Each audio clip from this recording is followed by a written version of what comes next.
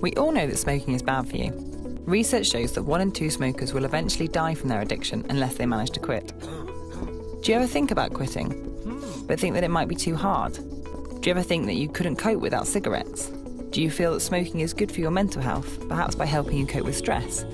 It turns out that it's a myth that smoking helps you cope with stress. Smoking is linked to increased anxiety and low mood. It might be that tobacco actually harms your mental health in the same way that it harms your physical health. New research shows that stopping smoking is linked to an improvement in mental health. In fact, the improvement in mental health after stopping smoking may be as large as the benefit of taking antidepressants.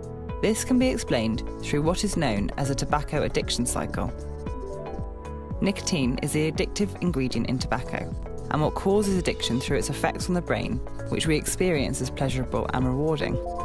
But after time, we become used to these effects. We continue to smoke mainly to get rid of our withdrawal symptoms that happen when we haven't smoked for a while. Tobacco withdrawal sets in surprisingly soon after smoking a cigarette. While smoking, nicotine travels through the body to the brain, but nicotine only stays in the body for about 20 minutes. When smokers haven't had a cigarette for a while, nicotine levels drop